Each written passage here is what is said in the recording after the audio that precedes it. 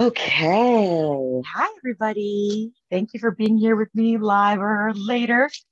I literally just got back from Hollywood Forever Cemetery because yesterday was Halloween, Samhain, um, but I was working. Um, and so in LA at Hollywood Forever Cemetery, there's always a Dia de los Muertos um, celebration at the cemetery on Halloween, and my dad is buried there. So, uh, since I was working yesterday and could not make it, I had to honor my dad's hustle. But then today I went with my mom and my auntie to go sit and leave my dad some flowers and libations. So, we are here off the high of Oya and the cemetery and the marketplace and the place of exchange of souls. And, you know, that's the Ashe of today, which is All Saints Day in the Catholic tradition. I was raised Episcopalian, which we call Catholic Light. so, uh, also celebrating this holiday, being with ancestors, being with relatives, descendants, any of those things today, chosen family are all important say it seems like we're going to get the passages deck, the deck of character. Oh, and a third one. Uh, who is it? No, no. Oh, Onyx Tarot. Okay. I haven't used the Onyx in a little bit. A black deck and two black and white decks. That's what is coming up for the energy. I didn't actually get any um specific questions today. So we're just going to jump right into the monthly read, and then we're going to do the key card, and um, and then I'll just talk about whatever random shit comes to me as as per per usual. You know how it works, audience.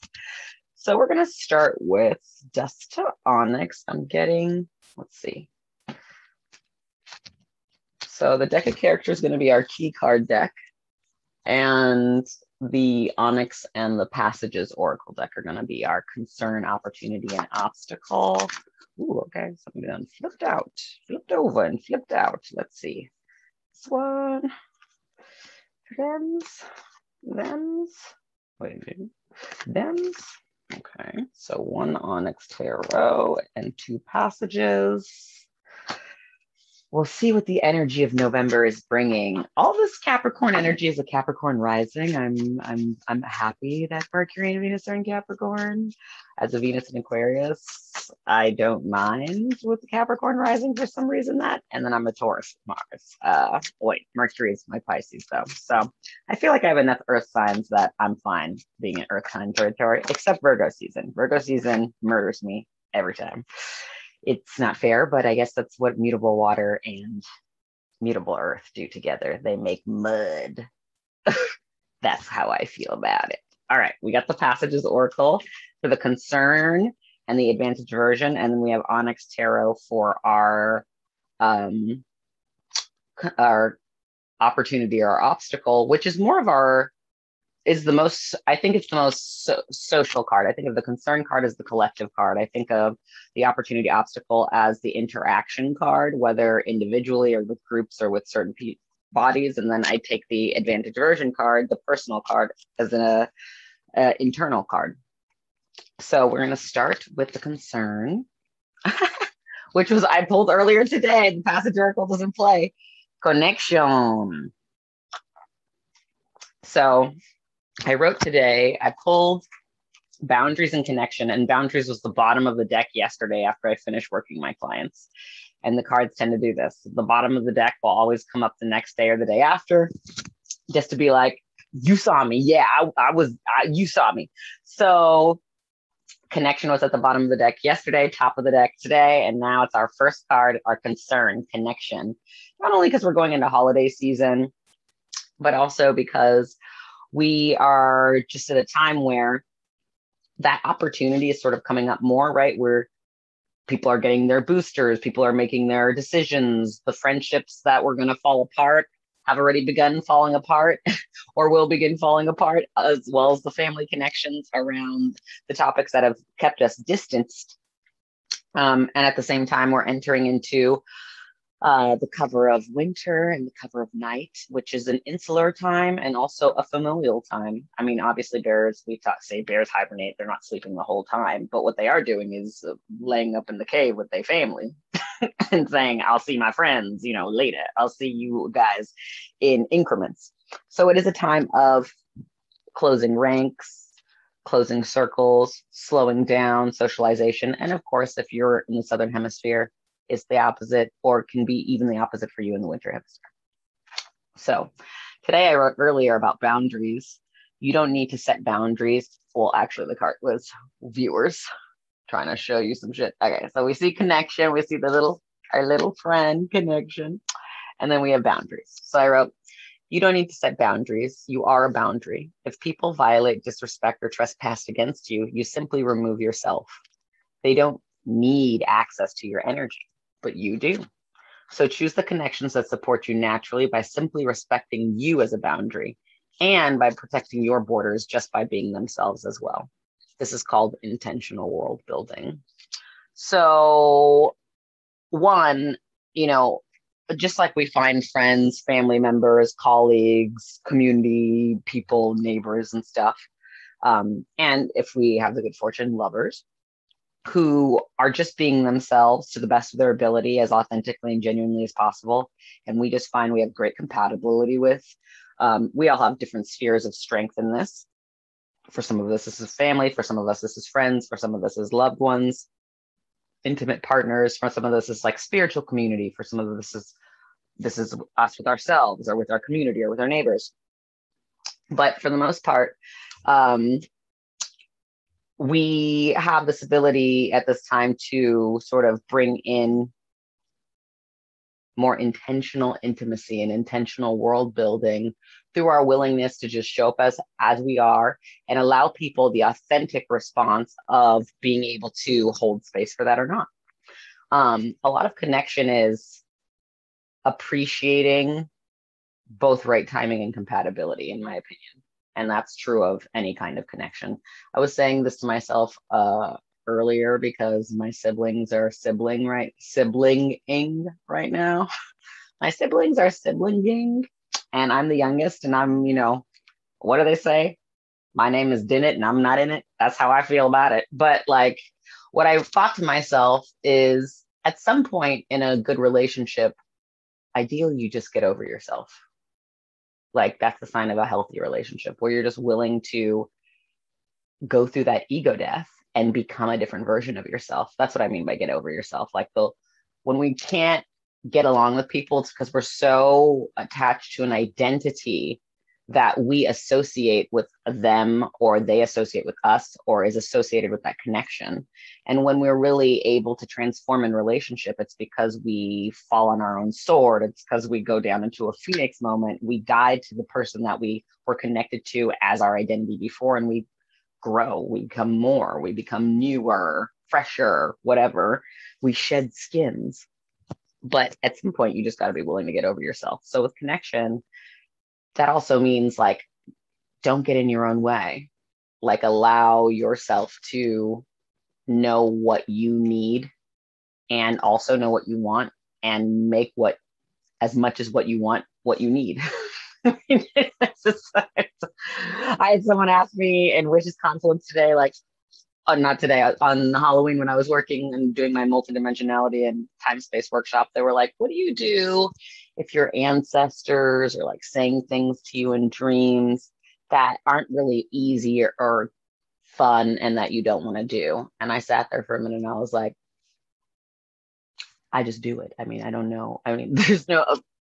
I of course there are ways I can talk about like going about it asking a mentor, having somebody in some sort of spiritual tradition give you some direction so that you're not alone. And that doesn't necessarily need to need to be rituals. What a priestess of Oshun, who I've been seeing for 10 years as a as a counsel, she won't even let me call her a teacher. She's like, I'm not really your teacher, because she says I don't have one of those. But um, like Ifa is my teacher. But um, she once told me to pray for 30 days for someone who I loved and all that I needed to pray for. Actually, she told me 15 days, but what I needed to pray for them was that they had the kind of love that I wanted. And it, my prayers needed to be the prayer of what I wanted for them for 15 days. I was in a contention with this person, but that was the remedy. And so I prayed for them for 15 days for the kinds of love that I would want for myself. And the intention there is that if even the person that you cannot come to terms with can find the kind of uplifting, supportive, sustainable, healthy, wholesome love that you want to find, then your love can't be far behind, motherfucker. Because if even your enemy or your most contentious love is someone who can be loved authentically, then why wouldn't you be? Because in the best of all possible worlds, you're doing your best, struggling sometimes, oftentimes trying too hard to get to that place with that person yourself. And if you can't do it and somebody else can do it, that means that someone else can do it for you. So connection is really important in that sense. Now, that's a big November theme. I think by the end of November, a lot of us are going to be like, I'm glad I got rid of that, dodged bullets. And then other of us are going to be like, you know, that person is actually really significant to me. And I just need to get over myself, or I need to figure out how to, we can get over each other's selves together. Um, there's an amazing video I also put in my story of a cat who is sitting on its fellow dog's dog bed. It's like a white cat, just being a cat, not giving any fucks. And the dog is looking at the bed like, how am I going to navigate this? And eventually it just decides to like sit on the bed the way it would sit, the least it could be sitting on the cat. And the cat was all like, why are you sitting on me? And the dog is like, it's my bed. And the cat grabs onto the tail for a moment and fights the situation. And then they just both lay down together. Because at the end of the day, the cat's like, I know this is your bed and I'm wrong. And the dog is, just because you're wrong doesn't mean I should abuse you and like sit on your face. And so the dog has the decency to be a good companion, unconditionally loving, loyal, and communal, like dogs are and the cat also got to lay. It barely had to move. It just had to like have a tail in its face. So they resolved their issues by being themselves. The cat didn't stop being the cat. The dog didn't stop being the dog. And somehow those motherfuckers could survive on the same bed. It was amazing. So our Onyx card, our opportunity obstacle, our us in interaction with the collective, us in interaction with individuals, is it's a coin which I love the Ace of Pentacles because of all the aces, which I always say to people in tarot. An ace is like having a boon in your pocket if you're playing the right game. Like if you're not playing poker and you're playing Scrabble, cards are meaningless. But when you're doing the work of the aces, which um, because of the way the A is the A is shaped, I always for some reason, and because of the ace of spades, I think of it as hoeing, but like a hoe for a garden. So the ace is like, so if you're doing the work of hoeing, which is the ace work, and you digging in, then as far as I'm concerned, the ace of pentacles, ace of coins is the ace that actually requires the most labor. The ace of cups overflows, the ace of wand, like the ace of uh, swords comes out victorious.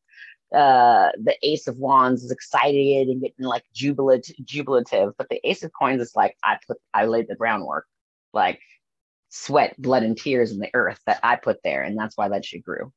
And it feels like a really a card of digging one's self in, digging one's hands in. So this is why at the end, by the end of November, we really know what actually we want to uh what kind of things we want to enrich, where we want what kind of soil we want our hands to be in, what kind of things we actually want to foster the growth of. Um, and going into 2022, the year of the lovers, um, and the 222 alignment, we're going into a time of uh, proper regard, right pairship. So, I mean, even if we're in a three way relationship, right? If it's like two parents and a child, you can't but relate one on one. Then there's a third dynamic, but we have independent sense of each other. So when I say pairing, I don't necessarily mean that we're just in one type of relationship because this can happen with family and friends and all these things, but meaning the one to one dynamic that we might think of as polarity, binary, dualistic. So coming into this energy, this twin energy, we're now in a position where it, you'll see where the growth, it's just like I wrote in the thing, it's like where you're already respected as a boundary, where the borders of where you are and someone else's are not in constant tectonic plate earthquake crashing because there is a sympatheticness, a simpaticoness, uh, a just genuine regard. You know, there's certain people that you're like, if I have to argue with someone or disagree with someone, I would rather it be them because I even appreciate them through our arguments. Like that's what I want out of connection for people. That even the negative is neutralized or made more positive by the just genuine affection and regard that's there before the ego before well i should say before the negative ego before judgment because neutral ego is just like i'm here appreciating my life. Yeah. So negative ego is i'm here but it's a problem because this motherfucker won't do what i asked and because that i can't have what i want. And then positive ego is i'm here and even though people are tripping i love them to pieces. So we're really getting into this place where we realize that it doesn't have to be a fight. Um, and that we can, if it is a fight, it can be an honest fight with agreed upon parameters and rules and understandings of the nature of the game. Um, and we're also getting into this this area where we're recognizing that like good things can happen to us, people can improve, and the quality of life can get better for everyone if we're all just willing to be in agreement with right timing and just have a genuine regard for one another that doesn't allow us to violate one another as a standard of communication. Um, so Ace of Coins is that real, real reward. As far as I'm concerned, it's like Ace of Coins, if it were a totem or a foundation, is base. Until you have that, learning through osmosis, doing all your wand shit through osmosis, learning all your water shit and your and your air shit through osmosis until you actually put that to work into a life that becomes a narrative and a world unto itself upon the earth then it's thought theory desire imagination. It's not until we get into the pentacles that it's actually tangibly proven stuff um, and tangibly regarded because I, what i love about the ace of coins too is that you know, ace of swords might just mean that you feel victorious even if you don't get the benefit of everybody else recognizing it doesn't matter because you're so resolved in your belief and in your understanding of your intellect. Ace of cups is more in celebration with an else you know like something else is happening. I got that book deal or i had that great performance or we had that great date. It's very interactive in that sense. And then the Ace of Wands is, I kind of feel that more of a Ace of Reputations. It's like the chatter that happened from the last thing you did, the way that people regard you. So it's not until we really get into the Ace of Pentacles that people are like watching the work happen. And it's a whole 4D situation where it doesn't actually, you don't even pay attention to the things that are not relevant to the situation. And actually, that's why the real regard comes from, right? With the individual connections, because you're like, all that stuff is negative ego. All that stuff is superfluous. All that stuff is superficial. All that stuff is water under the bridge. All that stuff is the past. All that shit is our old selves, not our new selves. And it's basically being w- willing to wake up to your friends, your lovers, your family members, humanity every day and be willing to say, Who are you today? Explain it to me again so I can have regard for you. Who are you again today? And that only really needs to come up when there is tension, because when you're in positive synchronicity, you're just going to keep that alignment rolling. It's not going to be any questioning. You're just going to be in it. So that's a very strong opportunity obstacle right there. That's like the shit that can last a lifetime if you build it right. Like a forever foundation. It's gonna be a Stonehenge. It's gonna be a pyramid, you know. Um, but I have not yet turned over our advantage aversion, so let's see what we're fucking with inside of ourselves.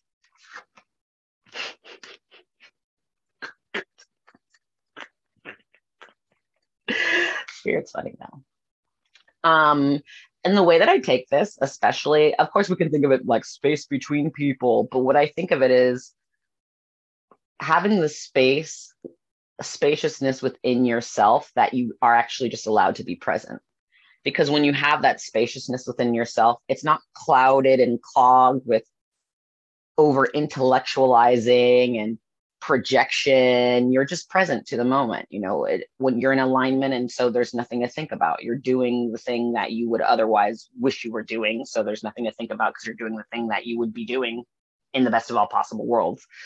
Uh, this part is very much when i'm ever i'm in a situation of tension i say to myself if i were the version of myself that i most preferred to be in the version of this reality that i most preferred to be how would i act? Or how would I react? And it's that space too. It's like giving yourself a moment to clear out and decide who you want to be in the moment going forward. And that's why Bashar, one of my mentors, obviously says, um, they have no history, they have no memory. And so when I was talking to Bashar about it, I was like, so if you're not defined by your cho- choices, if you're not defined by that choice I made and that choice I made and that choice I made in a referential way, then are you defined by I choose this, I choose this, I choose this, I choose this? And Bashar was like, yes, that's how you create identity, the way you choose in the moment. Just because you're choosing from a memory doesn't mean you're not making a choice from right here. So it's not, we're not defined by choices to choices to choices. We're defined by choosing to choosing to choosing to choosing. So that space that you create when you're like, if I were the version of myself that I most prefer to be in this moment, how would I react? And then you think you got to be honest with yourself. Do you like being mad?